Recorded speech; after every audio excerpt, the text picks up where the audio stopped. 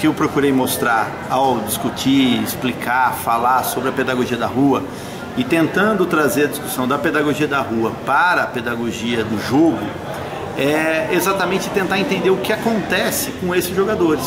Né? Porque onde que, como que nasce essa inteligência para o jogo?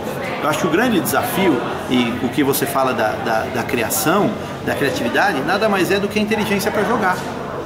Qual é o problema de hoje dessas pessoas que não têm essa vivência?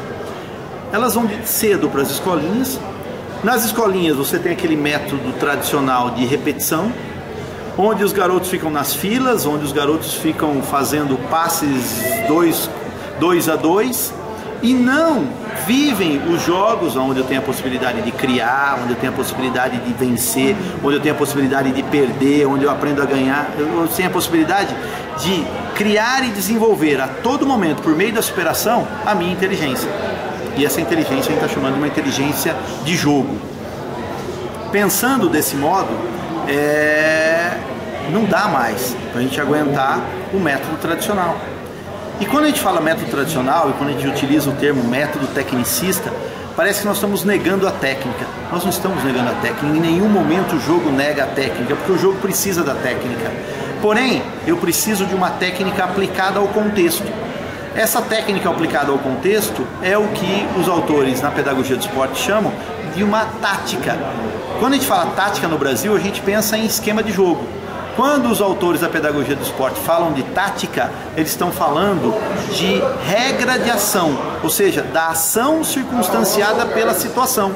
Essa ação só acontece por meio da minha execução, da minha técnica. Então eu preciso da técnica, mas essa técnica é subordinada pelo contexto, pela situação.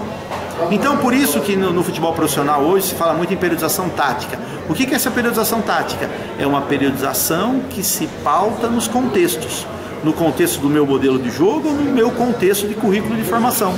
Eles passam a guiar os conteúdos da aula e não mais aquela distribuição de técnica, de passe, de chute, de condução e de controle, mas sim os contextos em que esses movimentos são exigidos dentro do jogo. E não se isola, não existe passe sem domínio, não existe é, passe sem finalização, ou seja, eu tenho a necessidade de conseguir aprender a manipular esses conceitos táticos na minha metodologia, de modo a levar para os processos mais organizados, que eu estou chamando de prática deliberada, que seriam as escolinhas de esporte, as escolinhas de futebol, ou mesmo o treinamento em futebol, a partir dessa organização de jogo. Então não quer dizer que só aquele menino que joga na Várzea vai ser igual o Damião, mas ele pode sim jogar nas escolinhas, desde que as escolinhas tenham uma metodologia que respeite essas características, que valorizem essas competências, o que eu estou chamando de competências que são essenciais para qualquer jogo coletivo, muito especificamente para o jogo de futebol. Jornal DBC Web.